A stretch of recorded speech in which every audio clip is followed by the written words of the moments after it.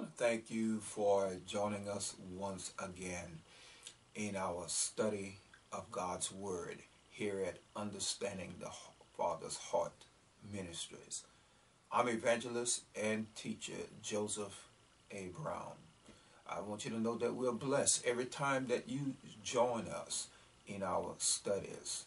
And also you can uh, catch our studies at Sunday mornings at 9, at 6 to 10 a.m. at 92.7 KZJM or on the World Wide Web at www.927kzjm.org where we are sharing the word of the living God. Dearly beloved, I want you to know our Lord is greatly to be served. Our Lord is the master of the universe. He is our very source. And if we're going to do anything in this life, we need to do it through Him, especially we who call ourselves Christians. But let us go before the Lord in prayer before we start our study. Father, we thank you and we praise you this day. We glorify you for your magnificence. We thank you for the great love that you have spread and shared amongst your children upon this earth. And even those, Father God, who have not yet been born again. Father God, you still love them. But Father God, there must be a choice to be made in their lives. And I pray today, Father, by your divine spirit that you will draw them unto yourself. And Father, I ask that you will use my tongue today, my mind today, Father, that I might share something with, Father, the listening audience, Father, that they might know what your will and your purpose is for their very existence. Father, we thank you and we praise you in Jesus' name. Amen and amen and praise God. Hallelujah. I pray that the Lord has blessed you in a, a very special way. You know, during this past week, uh, sometimes incidents in one life can give them a message and and that's what I want to do today just to share with you practically uh, something that the Lord has uh, put upon my heart and has been upon my very mind. And it, and it happens to be on the thought of speak life, not death. Speak life, not death. And I want to take uh, my thought from uh, Proverbs 18 uh, and the 21st verse. Death and life are in the power of the tongue, and they that love it shall eat the fruit uh, thereof. Let me read that to you again. Death and life are in the power of the tongue, and they that that love it shall eat the fruit thereof. What is this word of wisdom for us in this particular uh, proverb? What is Solomon trying to get across to you and I in the day that we live today when something was written so long ago? What is he actually getting at? I believe you can go in many directions with this particular uh, verse uh, of Scripture. But I want to go in a particular place on this day. And I want to use the thought, speak life, not death. Amen. Glory be to the living God. Dearly beloved, I was uh, actually working on a job uh, uh, this past week. And uh, as I was working on this particular job, installing a window uh, at an apartment uh, complex, I saw this young lady that was walking up with her, pushing one son in the stroller and the other following her.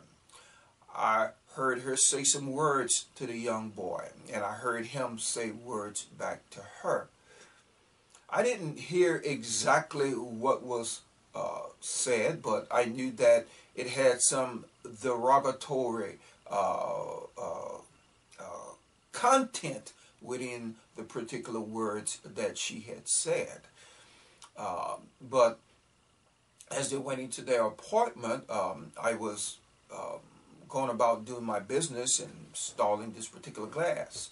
And this young man, where I was doing the work at, came upstairs and he said to me, he said, some people uh, talk to their children any kind of way. Isn't that sad?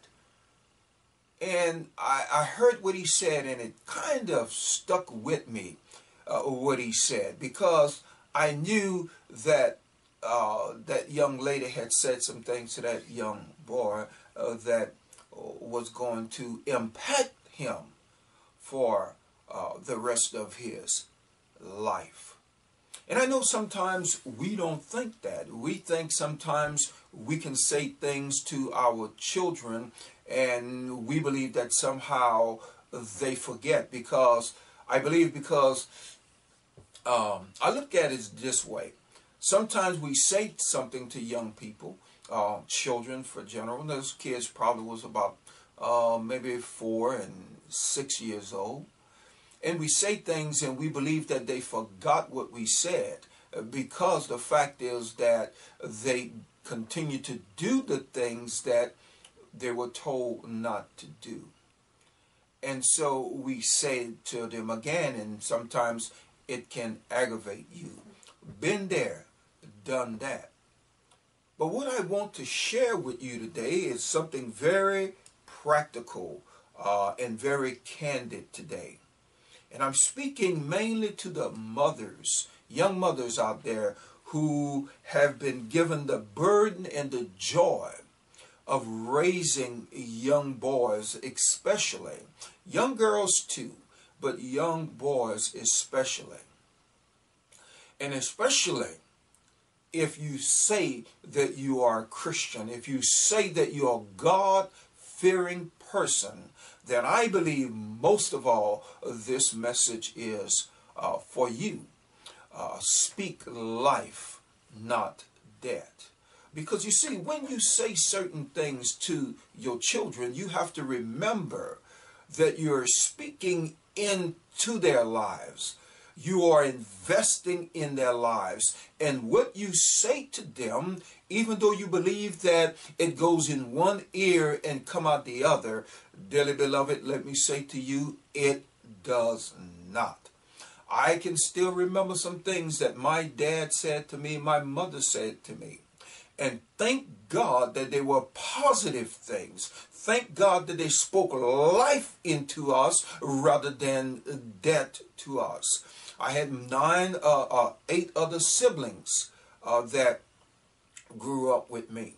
And I can say to you today that yes, they spoke words to us and sometimes harsh words to us because we needed to hear it at the time and especially myself. I knew that I got a lot of things said to me that because I was the one that had the hard head uh, and there was another brother uh, of mine, Russell, that had a hard head. And when a mom would say something to us and we would not listen and then you heard those words go get me a switch. Praise be to god. If you uh, i'm 60 years old so if you've that age or maybe just a little bit younger or even older you probably have heard those particular words yourself but i'm speaking into the life of the young women. Uh, because I know many of them have children that uh, is a struggle with, and I know that there's a struggle. But, dearly beloved, I'm saying to you, uh, my sisters in Christ, watch what you say to your children because they will remember it and it will become a part of their lives. And what you say to them even though they do not really uh, uh, understand what you are saying, it will create a belief system in their lives. It will echo to them at times when they are feeling down and they're feeling out. Your very voice will cry out to them. You say, well, I don't believe that that is possible. I believe that once they get older, they'll forget the things that I said. They will forget the times that I curse at them. They will forget the times I said to them that they are no good and no count.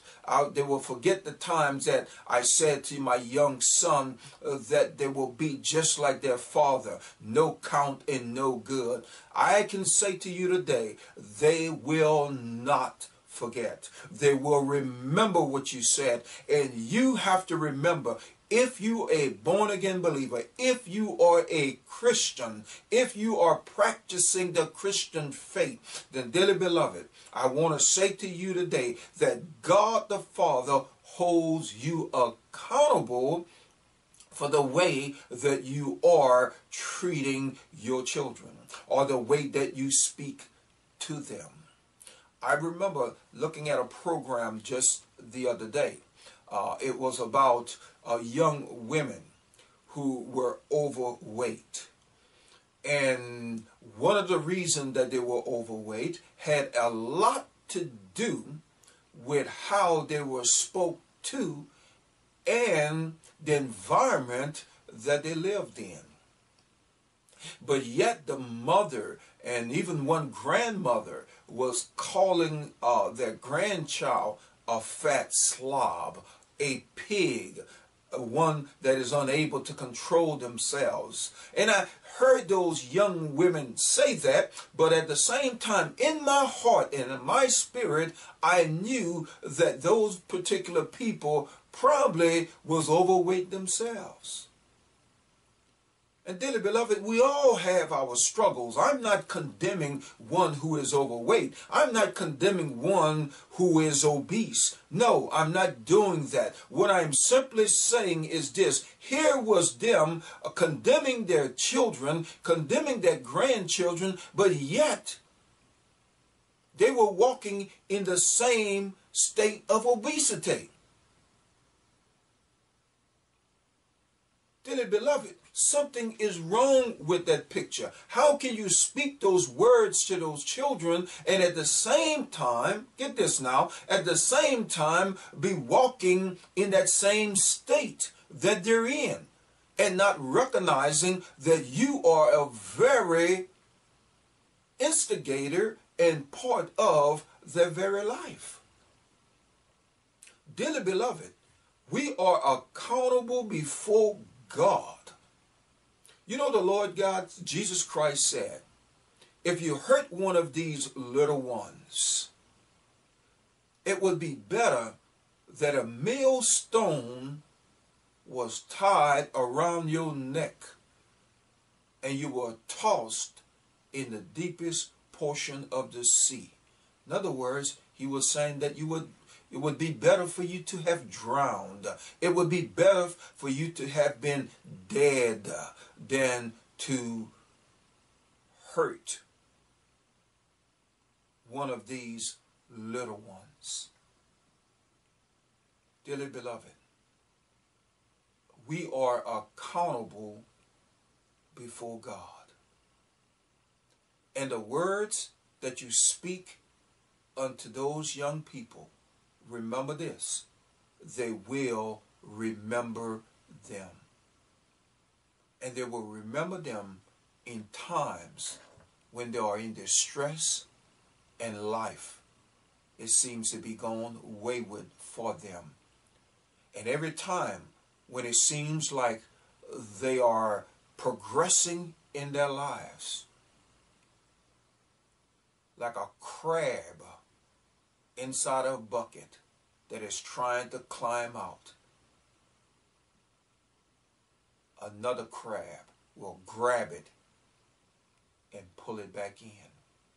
And you know what will be grabbing those children and bringing them back to say that you are nothing, that you're no count, that you're no good?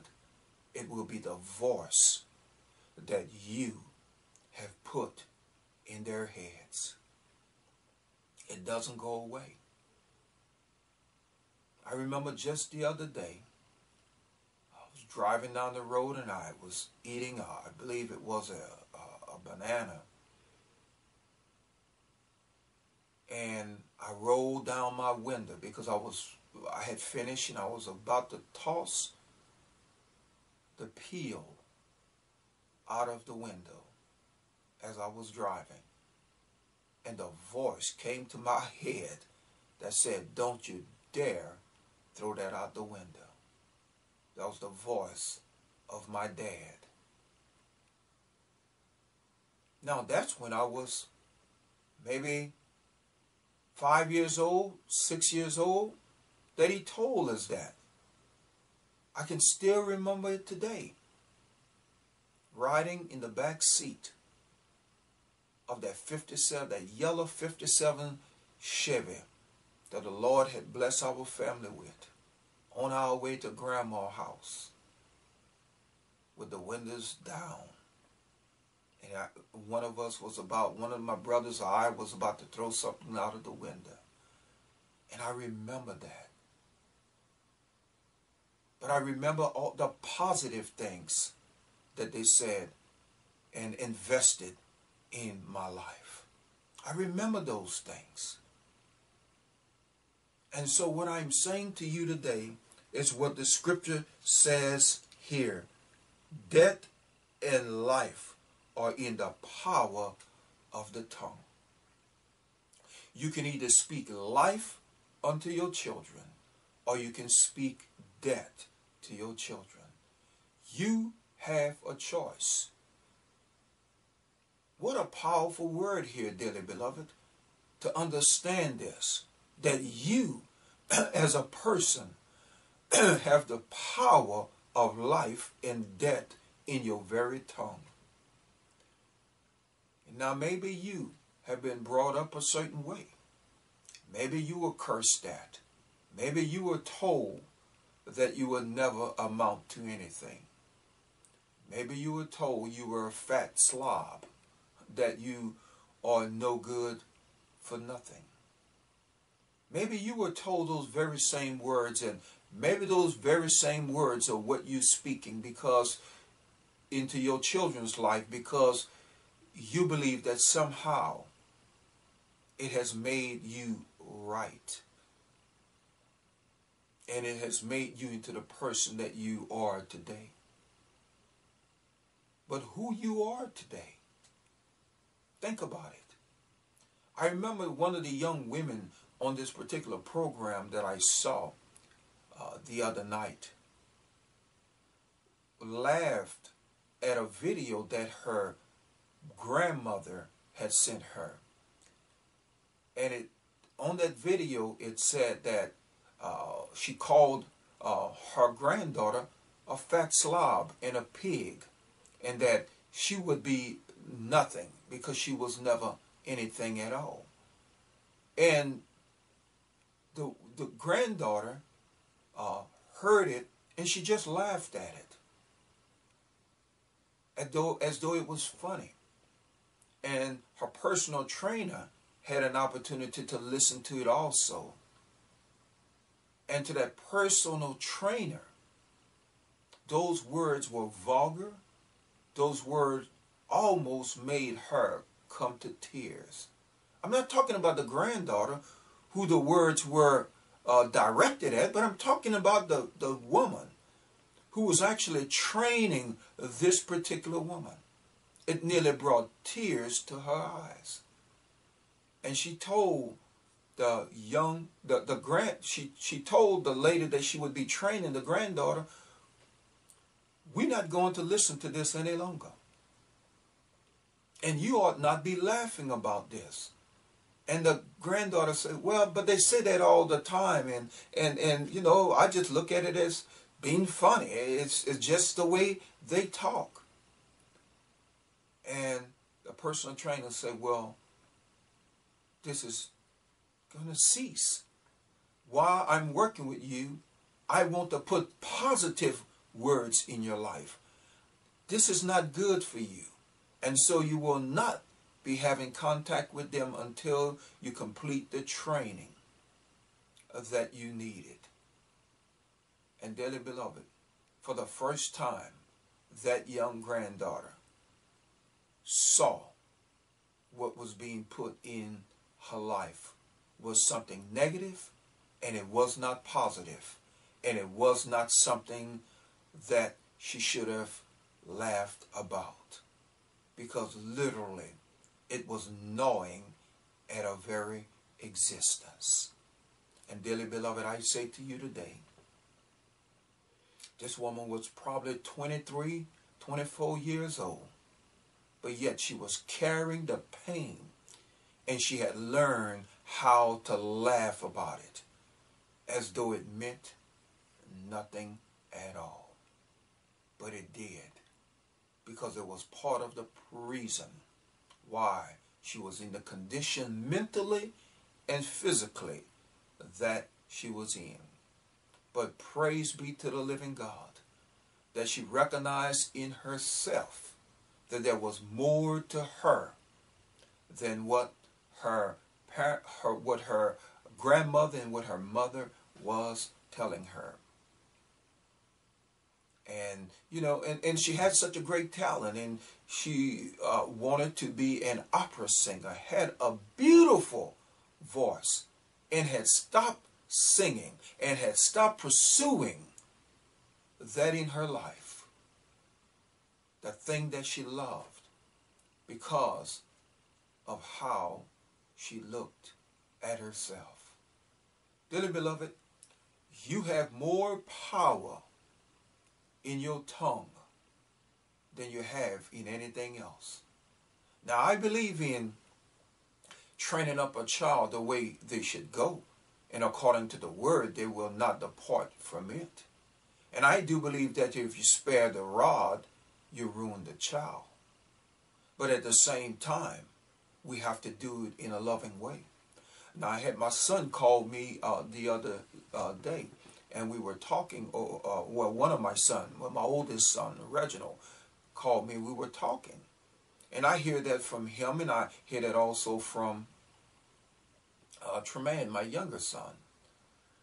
And how many times they share with me, because their mom had gone to be with the Lord, and how many times they shared with me that how we had trained them, how we had taught them and how we had lived before them had actually guided their lives and how grateful and thankful that they were. I mean, there are times that it bring tears to my eyes because many times I did not think at the moment or at the time when when uh, we were parenting them that we were always doing the right thing because you don't know sometimes. But dearly beloved, sometimes we don't know if we're doing the right thing. But let me say this to you. Now hear me good. We may not know if we're doing it the right way all the time. But one thing is for sure. We know when we're doing it the wrong way. Because we don't feel good about it. We don't feel right about it. And nor would we want someone to do that unto us if we are treating our children in an insufficient manner. We have to realize that, dearly beloved, we have to know that. And as the word of God says, look what it says on the on, on the latter part of that scripture. And they that love it shall eat the fruit thereof. If you speak death unto your children, you will eat the fruit thereof. If you speak life unto um, your children, you will eat the fruit of thereof. In other words, whatever they become, it will be the fruit that you have invested in their lives, and they will be exactly what you have called them to be in this earth. That's why uh, we can, myself and my brothers and uh, uh, sisters, how we honor our mother now because of the things that she did for us. Yes, we didn't know exactly uh, what they were doing at the time they were disciplining us. We thought it was for to hurt us, but really it was to build us up. And that's the same thing that I did with, and my wife did with our sons. And so I'm very grateful and thankful because now when they say those things, even though I don't, I, I can't really recall everything, but I know by looking at their lives that God has blessed them because of the words that was put into their life, deposited in them. And dearly beloved, watch the words that you speak. Speak life and not death. Amen. Praise be to the living God. I pray that the Lord has blessed you in some way and that you will think about it and pray about it before you begin to discipline your children and think that somehow you're doing it the proper way when you're cursing them and condemning them. Because one day you will eat the fruit thereof of what you have created with your very tongue. Amen. The Lord bless you. The Lord direct you. The Lord give you hope and joy and peace in your life and give you the strength to face every challenge that you might have in this life. Be blessed in Jesus' name.